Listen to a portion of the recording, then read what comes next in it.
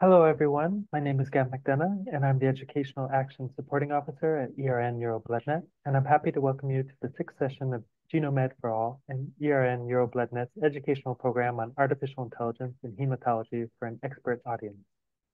On that note, I'm happy to introduce our speaker for the sixth session, speaker Marina Martello, and the topic is use case MM overview of results from both a technical and clinical perspective plus specific onboarding requirements, for example, minimal data set.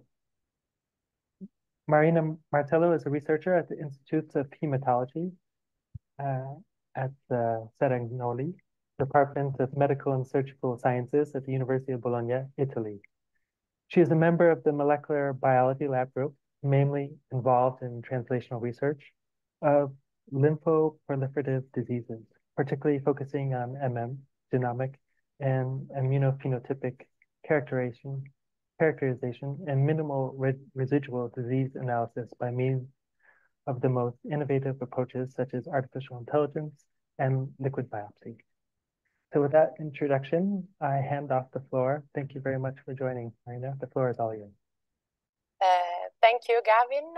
So we can start uh, with the presentation. Uh, in today's presentation, we will uh, have a brief uh, introduction on uh, multiple myeloma, so the, the, the disease uh, that is the object of this part of the GenoMed for All project. And we will see some, um, some um, new insights about clinical and the biological context of the disease. And in particular, we will see the current risk definition of the disease and the last update that are the Barcelona criteria. And then uh, we will see uh, some example uh, that have been uh, uh, published in, liter in literature recently about the uh, artificial intelligence implementation in multiple myeloma. Then we move, we will move to the core part of the presentation, that is the uh, multiple myeloma use case in the GenoMed for All project. And so we will see the data set that have been provided in the context of uh, the GenoMed for All project. And uh, in the third part of the presentation, we will uh, have an overview of the results produced in the context of the GenoMed for All from the different uh, partner uh, of the project that, that are the Universidad Politécnica de Madrid, University of Turin, and the University of Bologna. So starting with the introduction of the disease, maybe you are aware that uh, the mul multiple myeloma is a plasma cell disorder and uh, there are no uh, unique marker that define the disease. So the, the, the, the, biology of the disease is very heterogeneous and it is uh, characterized by um, a clinical outcome. So patient, uh, as you can see from this slide, patient uh, after receiving therapy uh, might have a decrease of uh, tumor cells. Uh, so patient can be characterized by different level of residual cells. And so the clinical outcome uh, might be influenced by the, the quantity of the residual cells and the persistence of these tumor cells. So patients, uh, um, uh, even though the, the new, new therapy are very effective, they experience relapse uh, due to the persistence of these tumor cells. So um, the biology of the disease is um, so complex because uh, uh, it can be resumed by uh, four different layers of heterogeneity. So multiple myeloma might have an intratumor heterogeneity. So the plasma cells can be very heterogeneous um, inside one patient, but it can be also different from one patient to another. So the disease, uh, from a biological point of view, can be very different from one patient to another another one.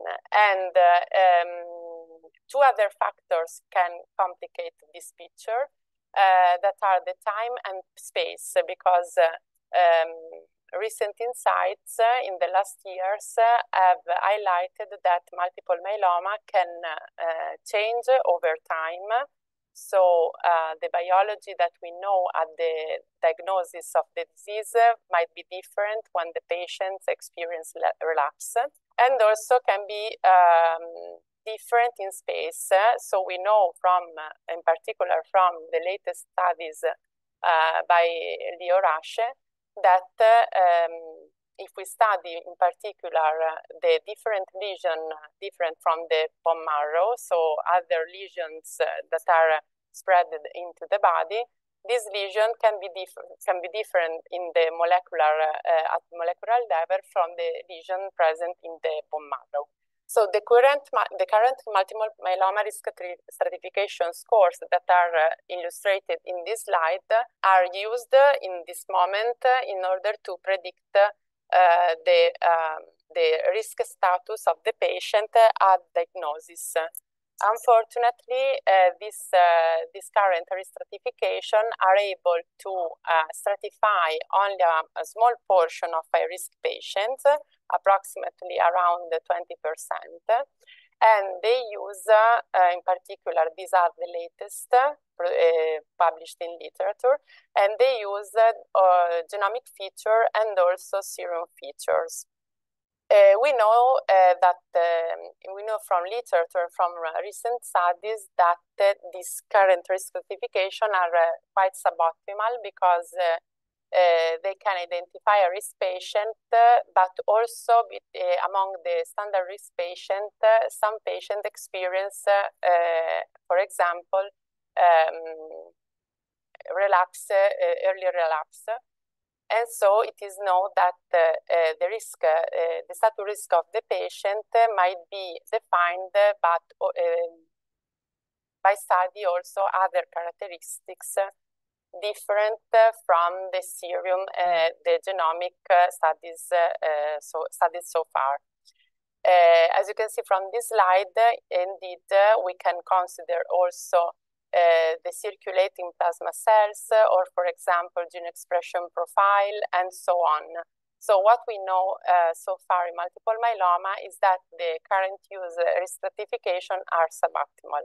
In, in particular, um, regarding the genomic, uh, the genomic panorama of uh, lesions in multiple myeloma, there are very, um, it is very challenging to define which are the um, the high risk feature and the co-segregation of, the, of these different features, since uh, they are very um, uh, in the current risk certification are studied by FISH, and the new methods are uh, have been included so um, very recently. So it's very it's very difficult in this moment to define uh, the importance of the co-segregation of this uh, alteration.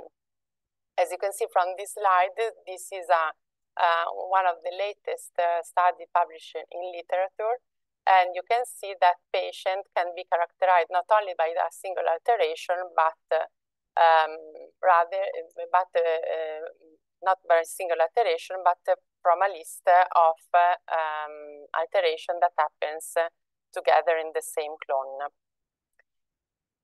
This is the latest, uh, uh, in this slide you can see the latest uh, release of um, consensus stratification that again did not take into account of um, the whole genomic heterogeneity that we have seen in the, in the slides before because uh, it takes into account, uh, it uh, consider the, uh, the study of the TP53, TP53 uh, gene by sequencing because it's known that um, not only the deletion, so the copy number, but also the mutation on the gene are very important, but only some segregation are taken into, into account and um, it considers only the genomic heterogeneity of the patient.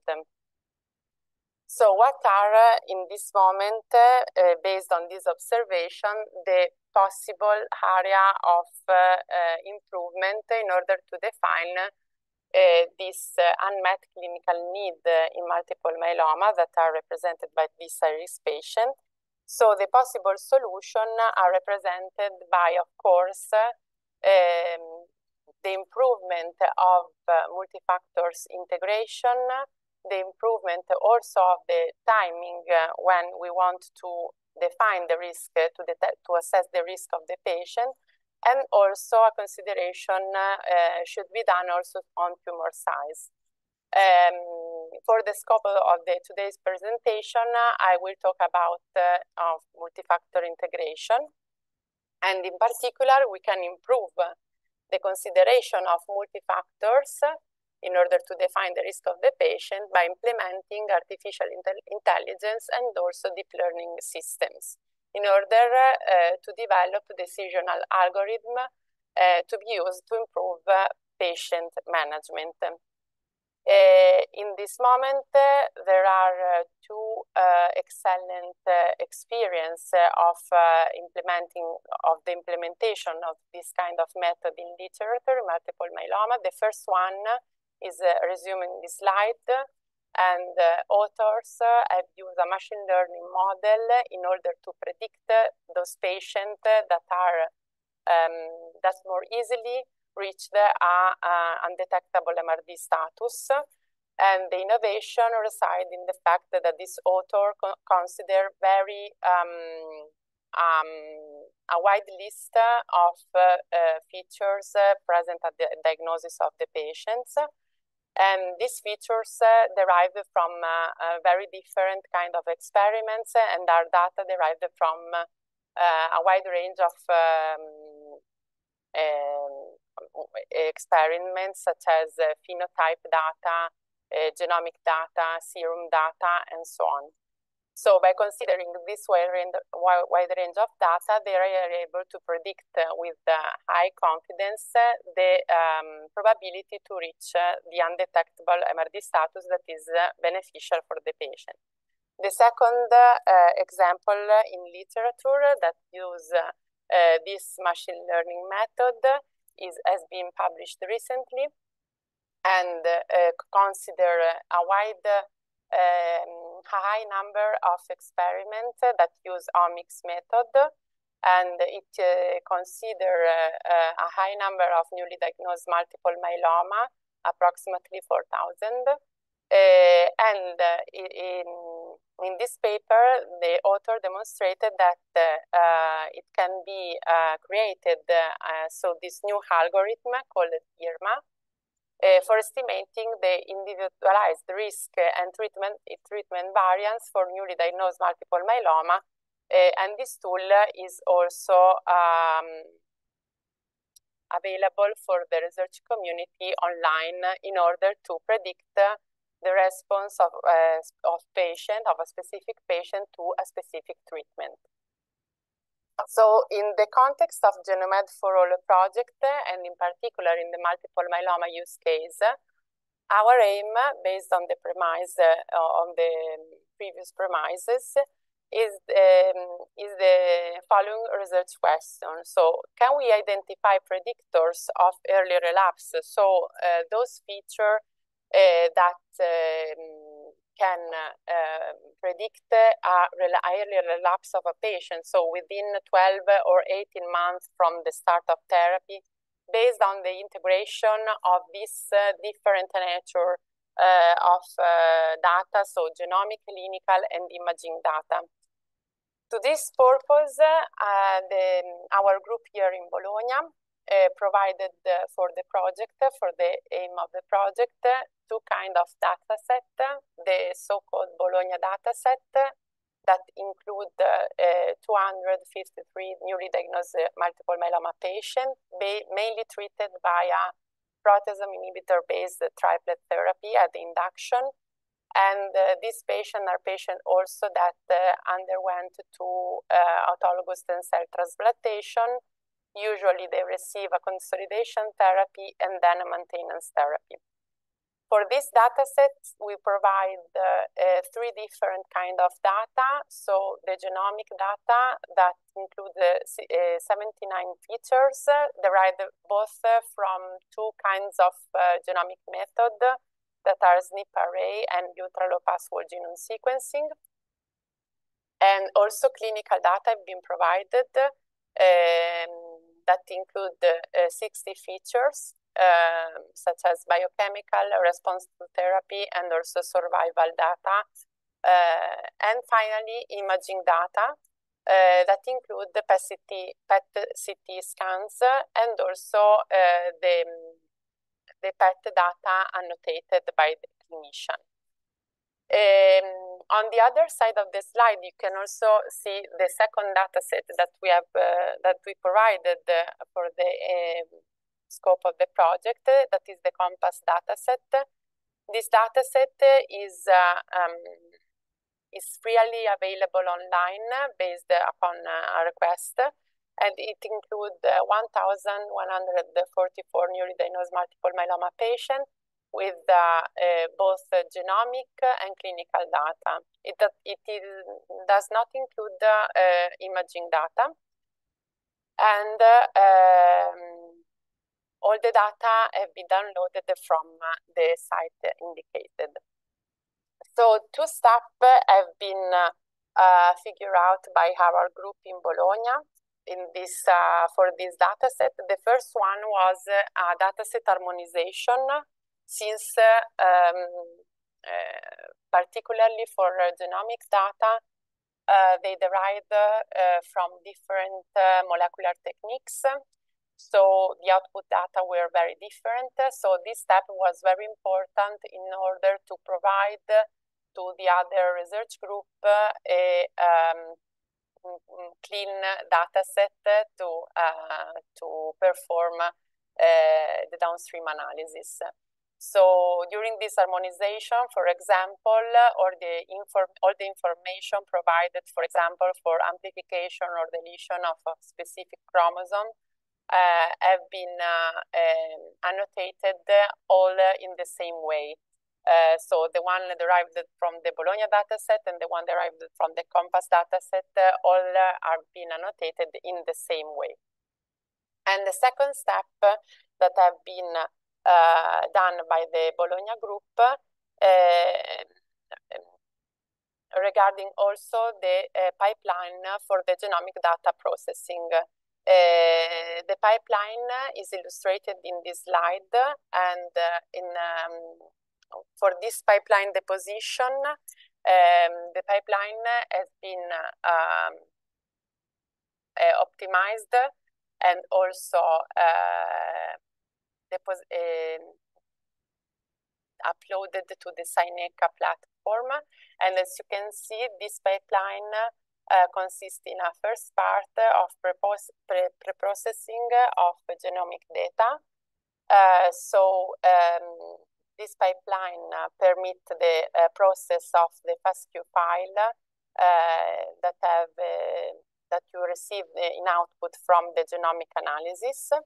And in the second part, uh, when you obtain the BAM files uh, with this pipeline, you can um, do a, a post-process of the file in order to obtain the, um, the table file that, that contain the copy number variation data.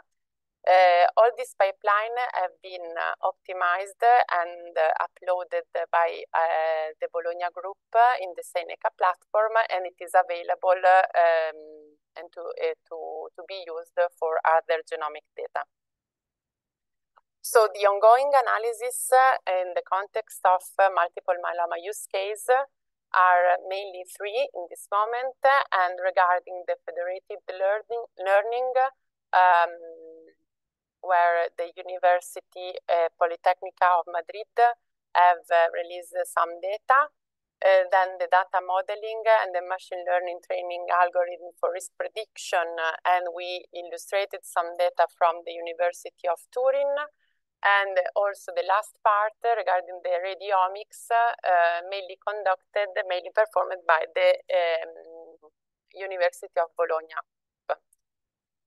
Regarding federated learning, uh, the group uh, from uh, um, headed by um, the professor Santiago Bello from Madrid I've dedicated, uh, I've used the dataset, uh, the Bologna dataset and the, the, the, the COMPASS dataset in order to um, define the, uh, the possible implementation of federated learning in a real context. So the federated learning, also known as collaborative learning, is a machine learning technique that can train an algorithm via multiple independent sessions. And uh, each of these uh, sessions can use uh, its own dataset without sharing data. Uh, so to this uh, uh, purpose and for the next for a next future possible use of this federated learning, we discuss the dataset with the um, UPM group in order to uh, help us in order to select the feature uh, to be used uh, for the, the downstream analysis. Then the synthetic data have been generated by UPM and then validated.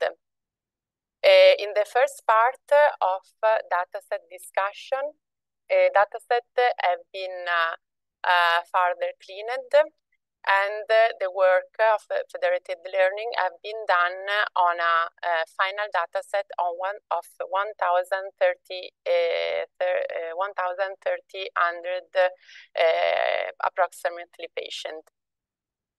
The synthetic data generation have been done through a, a model, a machine learning model that is a variational autoencoder model that is able to train uh, 15 uh, different seeds.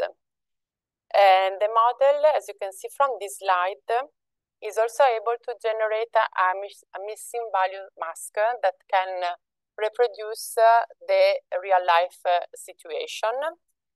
And after generation, these synthetic data have been validated uh, also to test their validity um, and three do, um, two um, specific parameters have been used in order to test uh, the utility of this uh, synthetic data. Uh, in particular, the survival analysis, analysis, and in particular the index and the classification in order to predict the early relapse. And as you can see, both the completed data and the incomplete data demonstrate uh, good uh, performances. in the last part of the validation of the, um, pos the possible scenarios produced by this model, uh, some preliminary data have been produced in this context, and uh, uh, one of the most interesting results is that the, federated, the federated learning, in this case, uh, can be especially recommended in the settings where um, uh, some uh, some data uh, might be missing. That are that is the situation that was reproduced the normal, the real life situation. also, in this context, further analysis are ongoing in order to to validate the final results. In the second uh, part of the of this overview or result uh, of results in the context of the GenoMed for All project, uh, these are these are results produced by University of Turin and regard uh, the data modeling for risk prediction. In particular, as you can see from this illustration, the um, the Turin group have used uh, the CNV data, so the data derived from uh, copy number alteration, and they always use a variational autoencoder machine learning model uh, in order to uh, predict the risk of a particular group of patients obtained by a k-means clustering.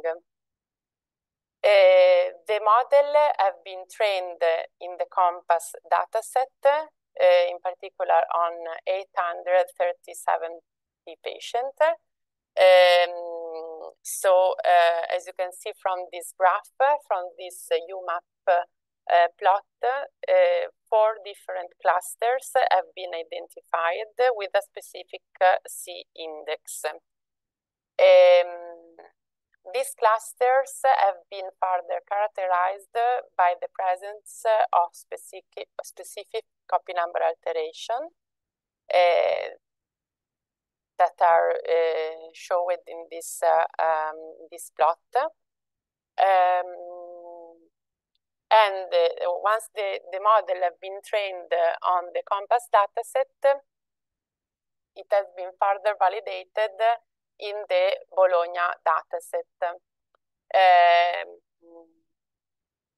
and as you can see from this UMAP, uh, we also we the the Turin group uh, have uh, still identified the four clusters uh, similar to the COMPASS uh, dataset, and in particular, these clusters uh, have been characterized by the presence of specific copy number alteration. For example, the cluster one uh, contain uh, is characterized uh, in particular by the presence of 1q and deletion 13q. And the both datasets have been further um, characterized by um, so further analysis have been performed in order to verify which are, uh, from this analysis, uh, the feature, the genomic feature and the clinical feature that best uh, predict for uh, um, early relapse. And uh, as you can see from this graph, both the COMPASS and Bologna dataset display a, a similar uh, a similar outcome in um, the the variability of uh, um, every feature in determining a specific uh, risk. In particular, for example, we can see the protective effect of the the transplant of having received received or not the transplant and also um, the effect of every single genomic alteration have been analyzed. And as a clinical outcome, uh, we can see that uh, from this analysis, we can um, outline a specific outcome for every cluster we have identified. Um, and we can see from these Kaplan-Meier curves that patient, uh, particularly deriving from cluster one and cluster two, have a very um, a particular worse prognosis with respect to the other cluster identified by this analysis. The last uh, set uh, of results uh, um, obtained in the in the context of GenoMed for all multiple myeloma use case regarded radiomics uh, in this last part of the project, um, data have been produced by the University of Bologna and the group of Professor Castellani, and are uh, the process of uh, um, data analysis have been illustrated in this image, in this schema. And as you can see, uh, data have been obtained from uh, more than uh, 200 patients, newly diagnosed multiple myeloma patients, for whom we have provided both the clinical data, the genomic data, and also the PET-CT scans. These images have been further processed uh, by the University of Bologna, and in particular, the, uh, some data have been further processed, such as the, the volume of um, the volume of interest of the lesions. Um, sorry, I lost the slide. Okay. Uh, particular for the volume of interest that uh, describe the every specific lesion and also the extension of each specific lesion. Uh, once the images have been obtained, for each images, um, features uh, have been extracted, and in particular, three kind of features have been extracted. So um, features of uh, uh, the so-called uh, first order, the shape, and also the texture of the images. And uh, in this specific moment, uh, several survival analyses are ongoing in order to define uh, which of these features from extracted from the images are the most um, useful in order to predict uh, the outcome and in particularly uh, and in particular the early relapse. In this slide, indeed, you can see um, all the um, all the steps that have been accomplished in order to process uh, the, the, the radiomic images and in particular also to um, to obtain in intensity data also from osteolytic lesion and not only from uh, the, the tracer captation derived from PET. So um, each kind of uh, data have been provided in the context in the context of this analysis. Okay, so um,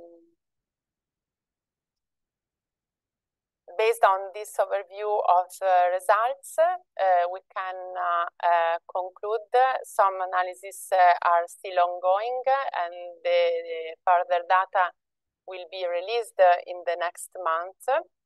And so to wrap up uh, the information that, the, that we have seen so far in this presentation, we have seen that multiple myeloma is a complex, is a complex disease but uh, for sure it uh, still needs uh, a cure. It is there is a strong need to interconnect different kind of data, such as biological data, clinical data, and also imaging data in order to predict the patient's risk.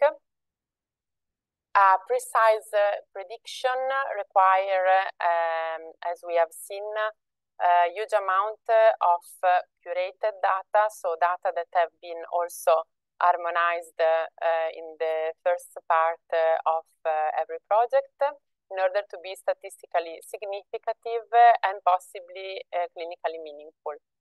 The artificial intelligence can help in this data management, uh, also for the interconnection and prediction of the aim uh,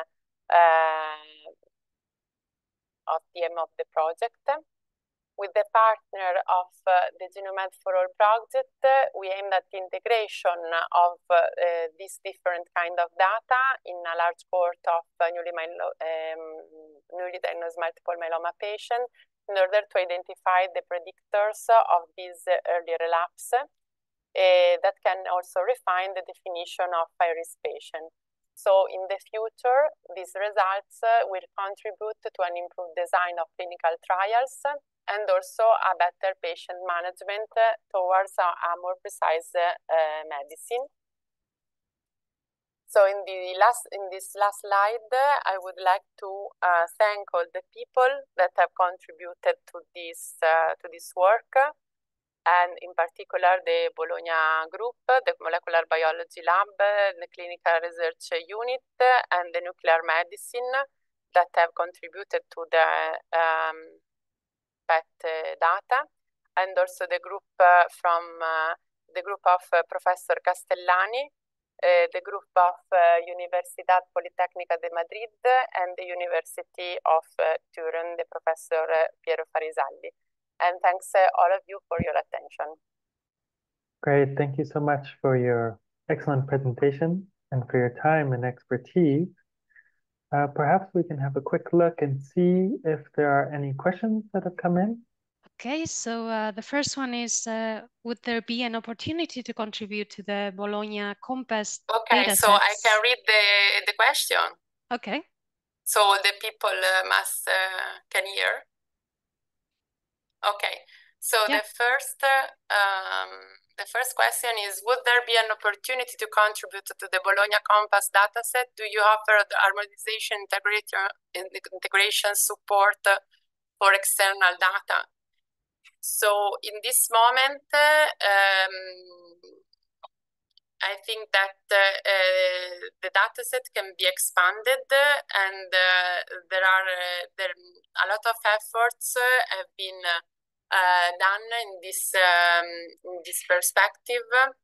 And in particular, as I told you during the presentation, the Bologna Group have uploaded, uh, for example, the pipeline of genomic data processing. So um, there is um, data can be expanded and um, people uh, can get in touch with uh, Professor Castellani or uh, Dr. Carolina Terragna in order to um, ask for how to figure out with the, the implementation of your data. So the second one, thanks for the presentation. You mentioned the genomics pipeline have been already published. Is it open public resource? Okay, so the same one uh, as, as I told you before, so it is um, the, uh, it is uploaded in the um, uh, Cineca platform, so it is available for the scientific community. And if you have also any additional quest question, you can write and you can um, ask to Professor Castellani or the Bologna Group in order to have some collaboration in that way. Great. Thank you so much for the questions from the audience and for your answers. It's uh, it's been a real pleasure to be a part of this GenoMed for All and ERN EuroBloodNet uh, program on artificial intelligence. And this program wouldn't be possible without the uh, generous support and expertise of experts like yourself. And I would like to take a special moment and thank my colleague Diana, who has been very instrumental helping with everything, and uh, her colleague Alexandra, and uh, if there are no more questions in the chat, I'd just like to thank you once again. And uh, we hope to see you at future webinars as well. So thank you once again.